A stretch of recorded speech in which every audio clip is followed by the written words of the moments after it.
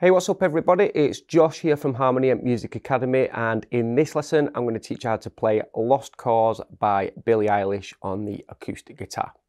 The great thing about this track is because it's bass heavy and there's actually no guitar in the track, it makes it super simple to play the acoustic on it and once you've learnt the progression for this as well, it's exactly the same all the way through.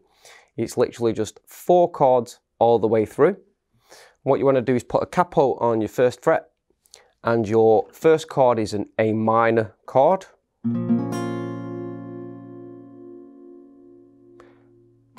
Your second chord is a G chord.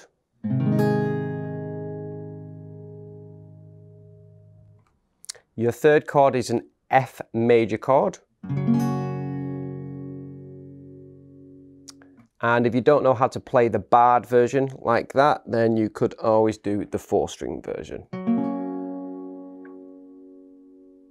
Although it sounds a little bit thicker doing the full bar version, so I would recommend putting some practice into learning that version. And then the final chord is the E major chord. And then when you put them together with the strum pattern, you have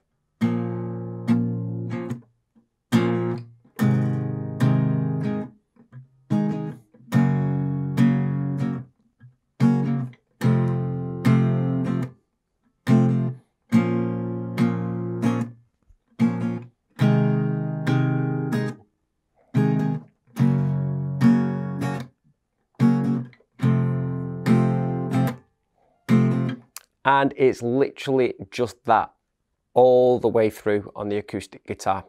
Now the strum pattern can be variated a little bit, but just to give you a little bit of a guide to go off, I would do a down, down, up, down, up pattern. So you have a little gap in between. So I'd go down, down, up, down, up, down, down, up, down, up, down, down, up, down, up, down, down, up, down, up. And you could put more in on top of that if you wanted.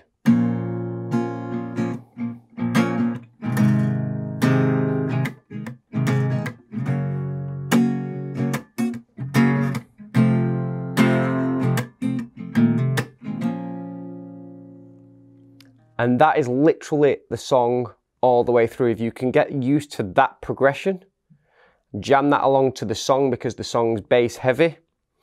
You can, you'll be able to literally play the whole song if you just get used to that progression. I hope this lesson's helped you. Make sure you subscribe to our channel for more guitar lessons, singing lessons and drum lessons and catch you soon in another video.